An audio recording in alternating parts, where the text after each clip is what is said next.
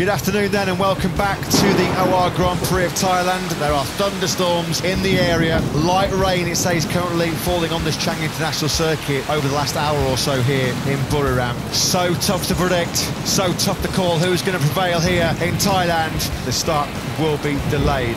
This is going to be all about who can understand quickest the track conditions, the grip levels. The safety car begins to pull away. Wet conditions for the start of this Thailand Grand Prix. Whose destination is the top step of the podium here in Buriram? We're underway in MotoGP. Miguel Oliveira, no great surprise. The KTM man into his stride. The rain winner in Mandalika at the start of the season. Oliveira now the fastest man, a 145.67. The Portuguese man menacing in fifth. Yeah, no surprise to see him competitive.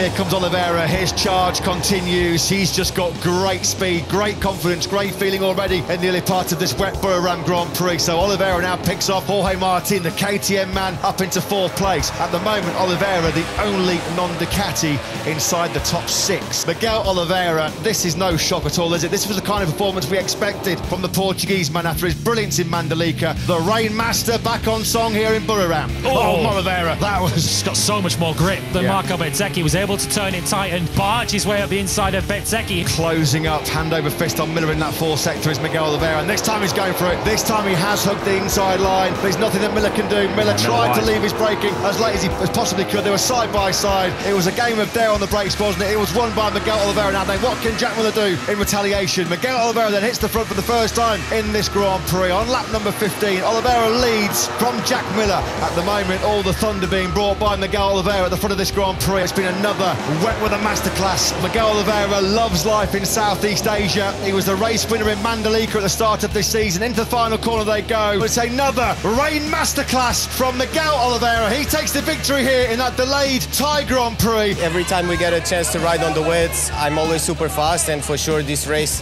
when it started raining, uh, I had flashbacks of Indonesia, kind of. Late than we expected, but better late than never. The green flag waves at the back of the grid. We're about to get underway here. The Grand Prix of Indonesia, delayed on the lights. The red light comes on, and we are underway here. MotoGP action, storming start from Miguel Oliveira. Brilliant launch there from the third row. He started seventh and immediately slots himself in to second place behind Fabio Quartararo. Miguel Oliveira powers his way out of the final corner and eases past Fabio Quartararo. Here comes Jack Miller up the inside of Miguel Oliveira into turn 10. Here comes Oliveira. That's the battle for the race lead, and it's now in the advantage of the Portuguese man. Miguel Oliveira snaps up the inside of Jack Miller coming into turn 12. Miguel Oliveira continuing to lap in the mid 139s. He's setting a decent rhythm out front. Here he is, clear visor as we see the concentration from the Portuguese. It's been a perfect Grand Prix so far for Miguel Oliveira. He has not put a foot wrong. Miguel is the man in Mandalika. A famous win here for KTM in our first Indonesian Grand Prix in a quarter of a century. There's joy and jubilation down at KTM.